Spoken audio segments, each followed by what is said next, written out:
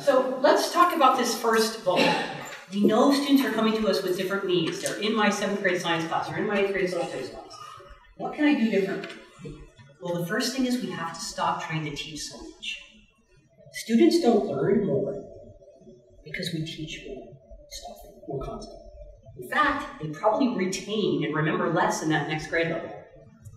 The more you, the more quantity of content you try to cover. You could call this teach less, learn more, or favoring uh, breadth, depth over breadth, or quality over quantity, or mastery over coverage.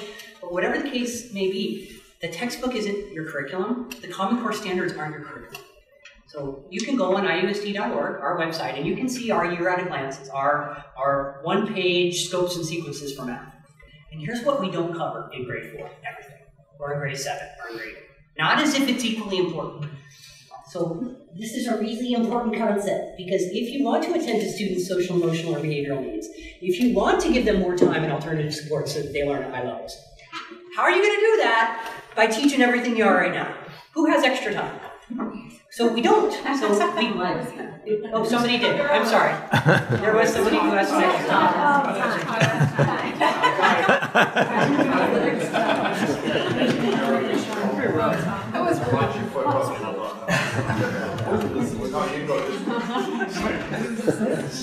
All right, so with tier one, we're talking tier one here. These are our three terms. Chris said it's not about the three letters. It's it's just about these sensible, common sense words be prepared to differentiate. So talk to your feeder schools. Who do you got coming to you? You could know that.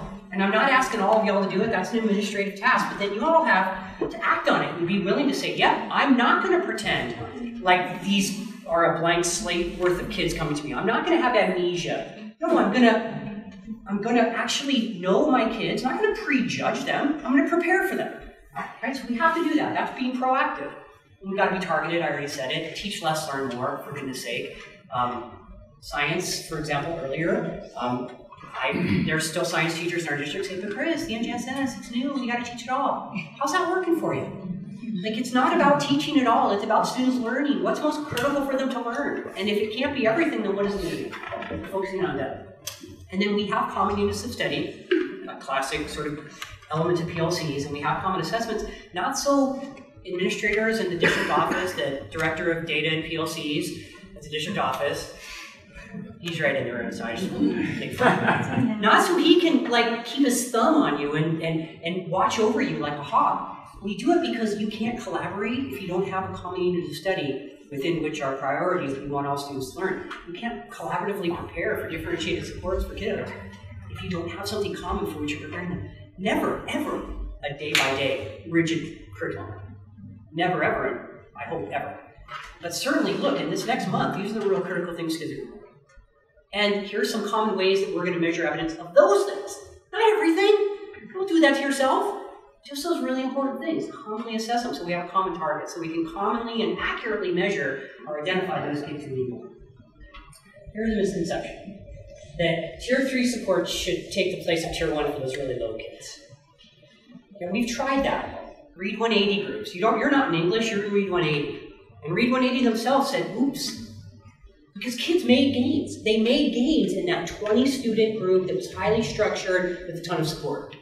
Then they went back to English 8 without any of it. And they didn't do so. Right? And not to mention that they weren't getting that same content-based, standards-based, grade-level standards-based experience that their, their peers were. So I know it's difficult because the schedule is the schedule, and the beginning and the end of school is the beginning of school. The ideal is that we're trying to provide them scaffold and differentiated access to tier one and the tier three schools. yeah, why are you Love cheering? him, love him. Yeah, me too. That's him. Love him. I know. So he, why do you love him? Because when I was 35 years of age, I went into this profession. And I, and I uh, found out about Bloom. I said, Eureka, why didn't I know this when I was in seventh grade? And that's a God's truth. Me too. So Bloom is a really famous dude. In the 1950s, he should be. He should be more famous. Yes, In the 1950s, he invented this taxonomy, which is a game changer. Are you laughing at the picture?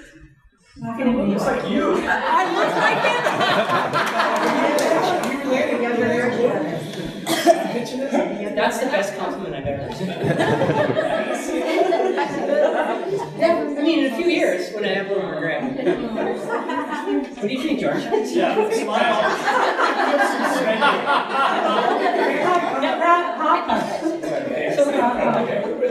In the 50s, that's approximately 70 years ago now, almost.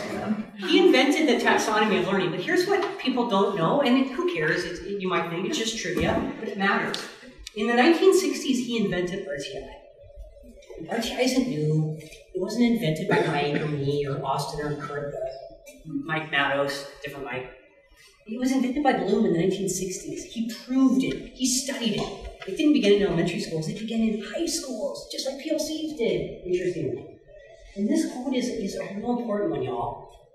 Because I fear that one of the reasons why we have normal distributions of grades is not because kids couldn't get it, it's because we didn't give them time or the right support to get it. And you think, yeah, we've got to move on. Do we? Well, what if we didn't just move on? So Bloom invented it. Chris didn't. He invented it. He invented tier two. And so here's an important thing. Tier two supports aren't provided by an interventionist. Tier two is more time to master the priorities of tier one. So who should take the lead on it? PLC teams. PLC teams should take the lead on it.